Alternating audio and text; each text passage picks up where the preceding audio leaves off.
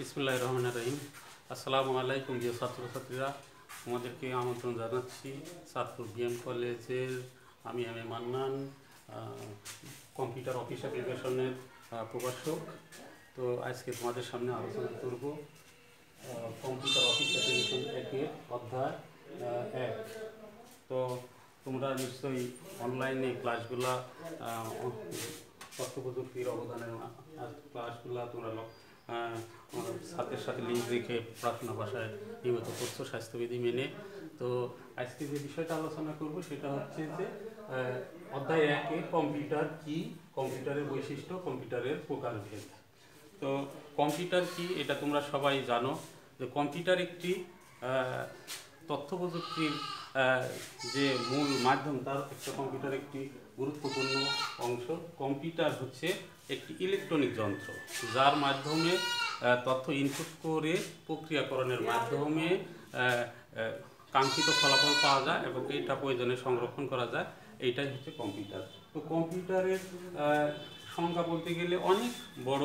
তো আসলে মূল বিষয় হচ্ছে যে আমরা যেটাই কম্পিউটারে ইনক্লুড করব সেটাই প্রক্রিয়াকরণ হবে এবং প্রক্রিয়াকরণের ফলে আমরা যে কাঙ্ক্ষিত লক্ষ্য সেইটা অর্জিত হবে এবং সেটা ফলাফল আগের বাইরে হবে। এইটাই কম্পিউটার এখন আমরা কম্পিউটারের মাধ্যমে কি করব? এইটাই হচ্ছে লক্ষণীয় বিষয়। আমরা যা করব তাই কম্পিউটারের মাধ্যমে দেখা যাচ্ছে, আমি সঠিক তথ্য দিতে পারলে সেইটা কম্পিউটার দেখা যাচ্ছে যে প্রক্রিয়াকরণ করে যদি কোনো যান্ত্রিক সমস্যা না থাকে তাহলে সেটা বাইর করে দিবে। তো কম্পিউটার কি এটা তোমরা নিশ্চয়ই বুঝছ? তো কম্পিউটারের বৈশিষ্ট্য। তো কম্পিউটার এমন একটা ইলেকট্রনিক যন্ত্র যেইটা খুবই, আমরা কয় টাকার বলতে পারি? সেটা হচ্ছে যে খুবই দ্রুত গতি সম্পন্ন হাই স্পিড যেটা খুবই দ্রুত কাজ করতে পারে। আরেকটা আছে হচ্ছে নির্ভর, নির্ভরতা বা নির্ভরযোগ্যতা। তো কম্পিউটার দেখা যাচ্ছে যে যে কোনো কাজ দেখা যাচ্ছে যে খুব নির্ভরশীল, নির্ভরতার সাথে করতে পারে। আরেকটা বিষয় আছে যেটা হচ্ছে যে সূক্ষ্মতা। অতি সূক্ষ্ম যে কম্পিউটার দেখা যাচ্ছে, যে সূক্ষ্ম সূক্ষ্ম দেখা যায় হিসাব নিকাশ যে কোনো গুরুত্বপূর্ণ কাজগুলো দেখা যাচ্ছে কম্পিউটারের মাধ্যমে করা যেতে পারে। আর আরেকটা যে বিষয় পয়েন্ট আছে, সেটা হচ্ছে বিশ্বাসযোগ্যতা। তো কম্পিউটারে আমরা যে কোনো জিনিস যদি দেখা যায় সেভাবে আমরা তথ্যগুলো সংরক্ষণ করে রাখতে পারি, দেখা যাচ্ছে যে কোনো অপারেটর ছাড়া দেখা যাচ্ছে এটা কেউ অন করতে পারবে না।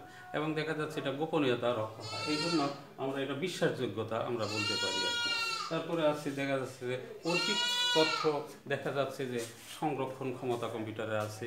এভাবে দেখা যাচ্ছে কম্পিউটার অনেক গুরুত্বপূর্ণ বৈশিষ্ট্য আছে, তোমাদের বই আছে, সেগুলো তোমরা লক্ষ্য করে পড়াশোনা করবে। আর কম্পিউটারের প্রকারভেদ। তো কম্পিউটারের প্রকারভেদ আমরা বলতে পারি যে কম্পিউটার কার্যক্ষমতার দিক থেকে কম্পিউটারকে প্রধানত চার ভাগে ভাগ করা যায়। একটা হচ্ছে সুপার কম্পিউটার আর একটা হচ্ছে মেইন ফ্রেম কম্পিউটার আর একটা হচ্ছে মিনি কম্পিউটার আর একটা হচ্ছে পার্সোনাল বা পিসি বা মাইক্রো কম্পিউটার তো এই সুপার কম্পিউটারটা হচ্ছে অনেক ক্ষমতা সম্পন্ন এবং অনেক বৃহৎ, যেটা একটা বলা যায় যে অনেক একটা ইন্ডাস্ট্রি বা একটা দেখা যাচ্ছে দুইটা, তিনটা রুম লাগবে, এত বড় কম্পিউটার যার ক্ষমতা অনেক বেশি। একসাথে এট এ টাইমে অনেক দেখা যাচ্ছে যে কাজ করতে পারে এবং দেখা যাচ্ছে যে অনেক তথ্য দেখা যাচ্ছে যে একই সাথে বাইর করে দিতে পারে। তো দেখা যাচ্ছে অনেক অপারেটর হয়তো একশো, দুইশো মানুষ একসাথে কাজ করতে পারে এবং প্রয়োজনীয় জায়গায় তথ্য ছেড়ে দিতে পারে।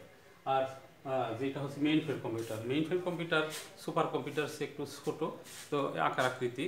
তো এটার ক্ষমতা অনেক বেশি, যেটা দেখা যাচ্ছে যে এক জায়গা থেকে ইচ্ছা করলে আরেক জায়গায় স্থানান্তর করা যায় না এবং নির্দিষ্ট একটি গুরুত্বপূর্ণ হয়তো দেখা যায় বিভিন্ন প্রতিষ্ঠানে কম্পিউটারগুলো তারপরে আছে মেনিফ্রেম কম্পিউটার। এই কম্পিউটারটাও ক্ষমতা সম্পন্ন অতি ক্ষমতা সম্পন্ন এবং দেখা যাচ্ছে যে একটা বড় ধরনের দেখা যাচ্ছে গবেষণাগার এই ধরনের কাজে রাখা হয়। আর যেটা হচ্ছে মাইক্রো কম্পিউটার, এটাকে আমরা পিসি বলতে পারি। আমরা দেখা যাচ্ছে যে আমরা ঘরে বসে দেখা যাচ্ছে যে কোনো অফিস আদালতের কাজগুলো এটা মাইক্রো কম্পিউটারের মধ্যে ব্যবহার করি। এখানে একটা মাত্র মাইক্রো প্রসেসর ব্যবহার করা হয়, এই জন্য এটাকে মাইক্রো কম্পিউটার বলা হয়। মাইক্রো আবার কয়েক ভাগ করা যায়, যেমন ল্যাপটপ নোটবুক হ্যাঁ পাম্পটপ ইত্যাদি এভাবে দেখা যাচ্ছে ভাগ করা যায়। এইগুলা দেখা যাচ্ছে আমরা এক জায়গা থেকে আরেক জায়গায় ইচ্ছে করলে স্থানান্তরিত করতে পারি হ্যাঁ এই ধরনের ছোটো ছোটো কম্পিউটারগুলো। তো, আর যেটা হচ্ছে যে কম্পিউটারের যেটা গঠন প্রণালীর দিক থেকে কম্পিউটারকে তিন ভাগে ভাগ করা যায়। তো, কার্যকারিতা বা গঠন প্রণালীর দিক থেকে। তো, কম্পিউটারে সেটা হচ্ছে তিন প্রকার, একটা হচ্ছে ডিজিটাল, অ্যানালগ আর হাইব্রিড। তো ডিজিটাল কম্পিউটার তোমরা নিশ্চয়ই বুঝতে পারছ ডিজিটাল যেটা আমরা তথ্যগুলা আমরা ডিজিটের মাধ্যমে দেখা যাচ্ছে যে আমরা আউটপুটটা বাইর করে দিই, সেটা হচ্ছে ডিজিটাল কম্পিউটার আর যেটা অ্যানালগ কম্পিউটার সেটা হচ্ছে সংকেত নির্ভরশীল, এটা হচ্ছে অ্যানালগ কম্পিউটার আর হাইব্রিড কম্পিউটার যেটা অ্যানালগের এবং ডিজিটালের সুবিধা থাকে, সেটা হচ্ছে হাইব্রিড কম্পিউটার তো বন্ধুরা, আমরা কম্পিউটার কি? কম্পিউটারের বৈশিষ্ট্য কম্পিউটারের প্রকারভেদ আমরা আলোচনা করলাম, এটা তোমাদের বইয়ে আরও সুন্দরভাবে দেওয়া আছে। তো আমার লেকচারটা তোমরা ফলো করবে ফলো করে দেখা যাচ্ছে, এইটা তোমার বইয়ের সাথে সম্পর্ক রেখে পড়াশোনা করবে। পাশাপাশি দেখা যাচ্ছে যে আরও বিষয় আছে যেগুলো তোমরা তোমরা বাসায় বসে স্বাস্থ্যবিধি মেনে তোমরা পড়াশোনা করবে। তাহলে দেখা যাচ্ছে যে তোমরা ঘরে বসে অনেক কিছুই দেখা যাচ্ছে যে কালেকশন করে বিভিন্ন অনলাইনে দেখা যাচ্ছে যে ক্লাসগুলো স্যারদের সাথে লিঙ্ক রাখবে কোনো যদি সমস্যা হয় সেটা স্যারের সাথে যোগাযোগ করবে করে দেখা যাচ্ছে যে ক্লাসগুলো ফলো করতে পারবে। তো কম্পিউটার আসলে এর যে কার্যক্ষেত্র, এর যে বিচরণ ক্ষেত্র, এর দেখা যায় যেখানে আমরা ব্যবহার করতে পারব, সেখানে এটাকে আমরা কাজে লাগাতে পারি। এ, দেখা আমরা শুধু এই কম্পিউটার সম্পর্কে আমাদের অভিজ্ঞতা থাকতে হবে। তো কম্পিউটারের আরও যে গুরুত্বপূর্ণ বিষয় আছে কম্পিউটার প্রশ্ন তোমাদের যে একটু আলোচনা করার দরকার। যে কম্পিউটার আমরা যে এই কম্পিউটার অ্যাপ্লিকেশন এক এইটা তোমাদের যেটা চূড়ান্ত পরীক্ষা ফাইনাল পরীক্ষা সেখানে তিরিশ মার্কের পরীক্ষা হবে। তো সেখানে তোমাদের যে বিষয়টা সেটা হচ্ছে যে তিরিশ মার্কের প্রশ্ন, আটটা প্রশ্ন থাকবে, প্রত্যেকটা প্রশ্নের অপশন তিনটা করে থাকবে ক, খ, গ। এভাবে থাকবে এবং প্রত্যেকটা প্রশ্নের মান ডিস্ট্রিবিউট করা থাকবে, বন্টন করা থাকবে। একটা আটটা প্রশ্ন থাকবে, তার মধ্যে তোমাদেরকে পাঁচটির উত্তর দিতে হবে। পাঁচ, ছয়, তিরিশ, এই তিরিশ। এবং প্রত্যেকটা দেখা যাচ্ছে এক, দুই, তিন। এভাবে তোমাদেরকে দেখা যাচ্ছে মার্ক বন্টন থাকবে। তো এই যে আলোচনা, কম্পিউটার কি? বেশি লেখার দরকার নাই। তো দেখা যাচ্ছে কম্পিউটার কি এটা সঠিক একটা হলেই দেখা যাচ্ছে তোমরা এক মার্কস পেয়ে যাবে।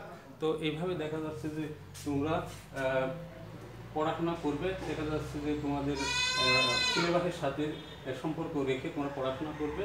এই কম্পিউটার বা এটা যেহেতু সায়েন্সের বিষয়, এটা ভূমিকাও লেখার দরকার নেই, উপসংহারও লেখার দরকার নেই। তো তোমরা দেখা যাচ্ছে যে ক্লাসটা ক্লাস আমরা যেটা ডিজাইন নিচ্ছি আর এই যে মান বন্টনটা আমি বলে দিলাম, এভাবে তোমরা পড়াশোনা করবে। দেখা যাচ্ছে যে তোমাদের ভালো ফলাফলের জন্য এটা একটা ভূমিকা রাখবে।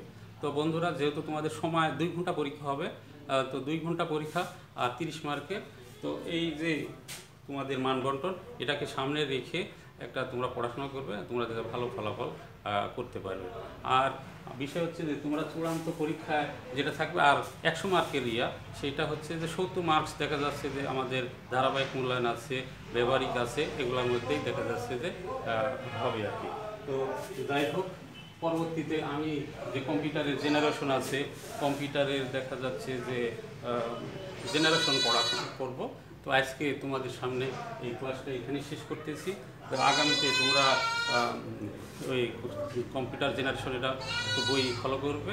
আর তোমাদেরকে স্বাস্থ্যবিধি মেনে মাস্ক ব্যবহার করে বাইরে যদি যাও, আর ঘরে বসে স্বাস্থ্যবিধি মেনে অনলাইনে বিভিন্ন দেখা যাচ্ছে যে ক্লাসগুলা স্যারদের সাথে লিঙ্ক রেখে অনলাইন ক্লাসগুলো ডাউনলোড করে পড়াশোনা করবে। আর সবার সুস্বাস্থ্য কামনা করে এখানে শেষ করছি। আল্লাহ হাফিজ।